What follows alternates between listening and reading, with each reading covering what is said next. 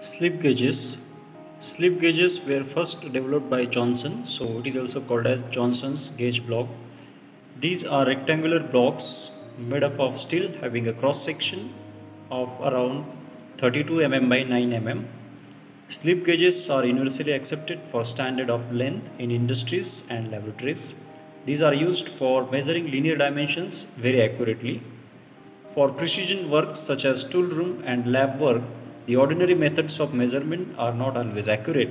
So, micrometer and vernier caliper can be used to check tolerance within a range 0.002 to 0.02 mm. But for fine tolerance, they are not effective. So, slip gauge are used to measure tolerance in the, in the range of 0.001 to 0.0005 mm. So these are piece of wear resistance material of rectangular cross section used as a reference for performing length measurements.